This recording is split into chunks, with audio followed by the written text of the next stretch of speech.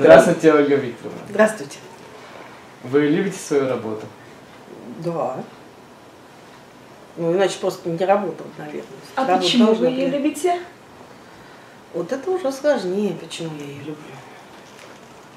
Мне все от процесса до результата получаю удовольствие.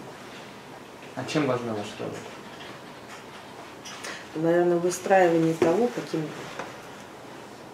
выстраивание и контроль за образовательным процессом, чтобы он был максимально эффективен для детей.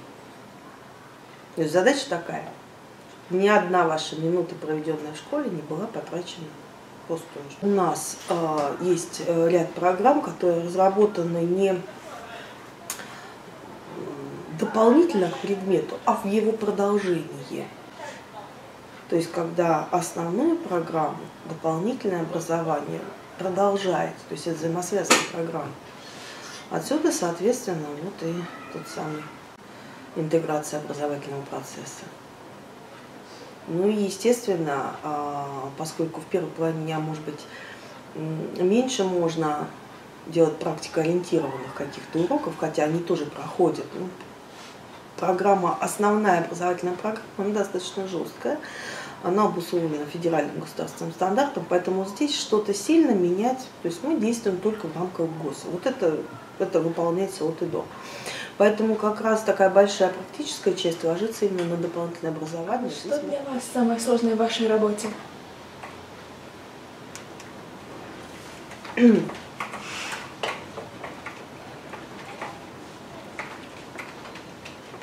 Я бы убрала этот вопрос. Что у меня только один ответ. Чем я с утра занимаюсь. Поэтому, наверное, нет. Все остальное, ну как, оно не, э, как сказать, э, есть задачи, которые нужно решать. А, Я не знаю, вы у нас в каком профиле? В Гуманитарном, наверное, нет? Физмат. Физмат. О, физмат. Вот есть же сложные задачки какие-то, да, которые требуют, чтобы ты подольше над ними посидел. Правильно? Ну вот, соответственно, и у меня есть такие задачки, на которым нужно чуть дольше посидеть. Но это интересно, это не сложно, это именно интересно. Если человеку нравится то, чем он занимается, нравится решать задачи, то, соответственно, ты их решаешь, и чем сложнее, наверное, тем больше удовольствия, особенно от того, когда ты ее решил и получил нужный результат. Вот то же самое. Когда легко, оно же неинтересно. Ну, по большому счету, Да. согласитесь. Ну да. Чем легче, тем ну, Скучнее. скучнее, да, совершенно верно. Поэтому, конечно, хочется, чтобы сложных задач было как можно больше, и тогда, ну, как это, А, да, в меру. Все должно быть в меру, да.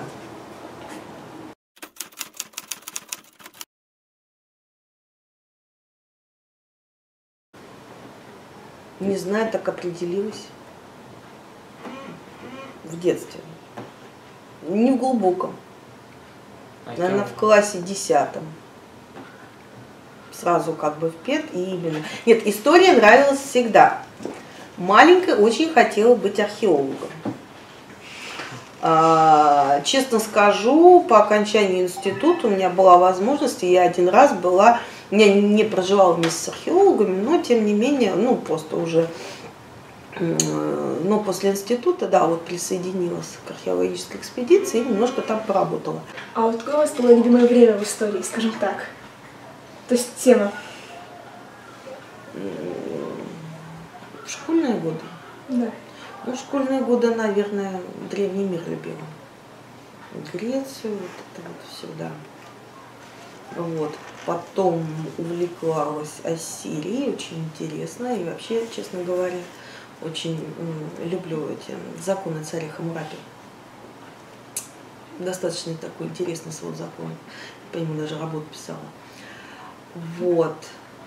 А потом, да, действительно переключилась уже больше на средневековье. Дипломная работа была связана уже даже не со средними веками, а с новым временем, с Фрэнсисом Бэконом. М. Ну, понятно, что просто, э, как сказать, интересы, они меняются со временем. Сейчас, например, иногда с удовольствием смотрю даже документальные вещи там начала 20 века.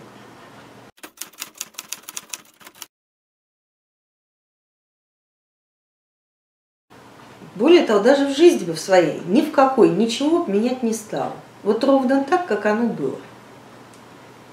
Э, Скажем так, вот поменять кардинально совершенно точно ничего не хочу.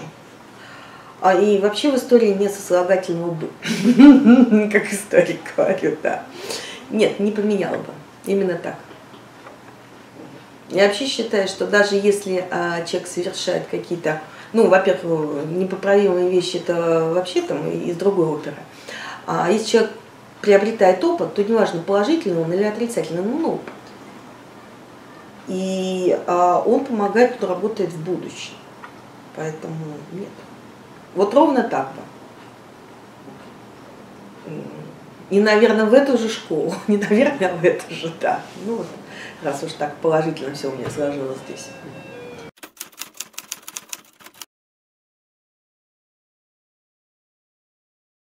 А, Ну, это, наверное, не мне уже давать оценку, потому что мне иногда кажется, что мягкое, людям кажется, что жесткое, поэтому сложно сказать.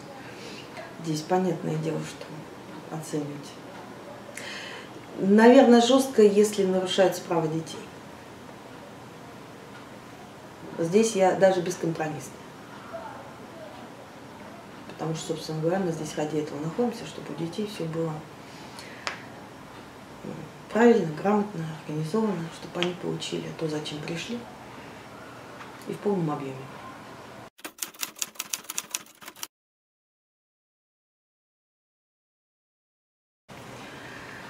Ай, 273 федеральный закон об образовании.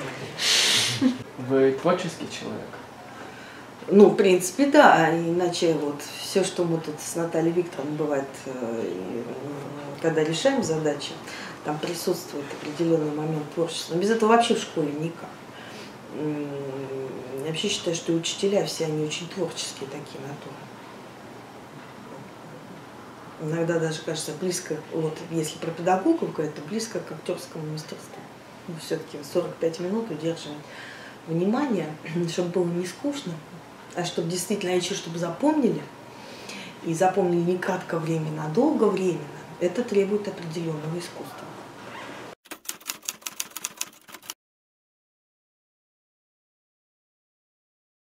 Ну, иногда люблю, а, когда есть с кем, есть время, шахматы. С мужем, например, в нарты играем. Ну, такие игры, ну, нравятся мне. Онлайн люблю игрушки, если есть время на них. Не так много, но как бы если есть, то я себе позволяю там переключиться минут на там, 10-15 и дальше опять заниматься делами, ну, чтобы отдохнули мозги немножко.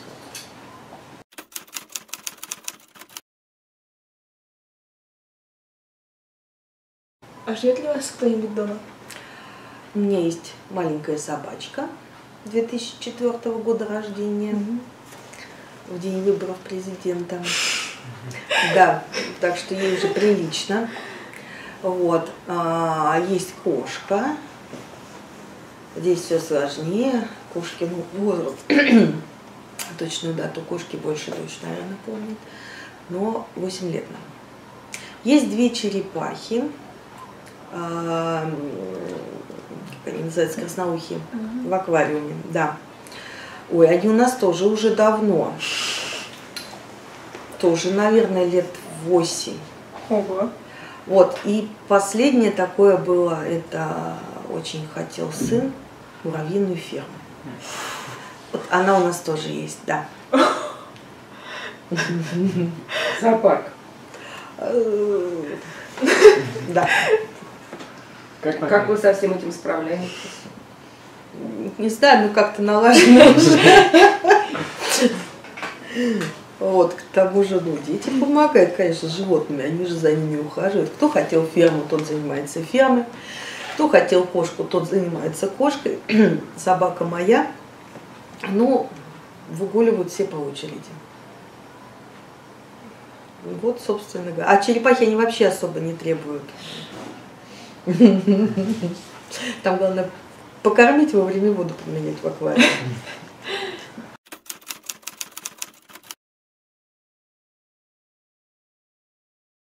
Какое у вас любимое место в России? То есть город или деревня даже?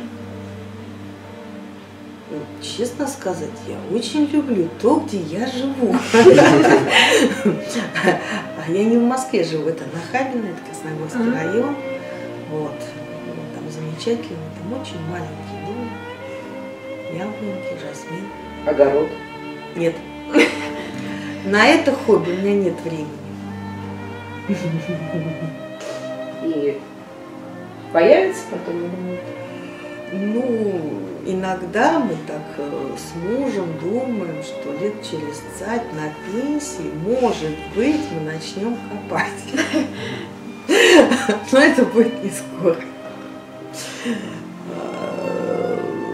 Время должно, я, я все-таки за то, чтобы время тратилось рационально, да. Или чтобы оно, то, чем ты занимаешься, приносило удовольствие. Пока удовольствия от огорода у меня нет. Вот цветочек, когда там вырастет какой-нибудь красивый, да. Вот елочка у меня уже, уже вот такая, сколько там, сантиметров 30.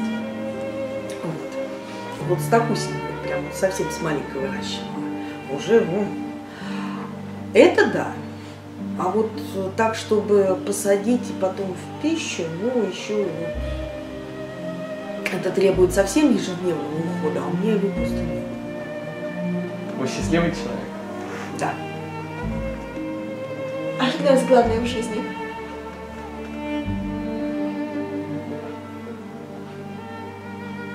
На благополучие семьи, детей. Чтобы родные и близкие были здоровы, в первую очередь. Ну, просто остальное решаем.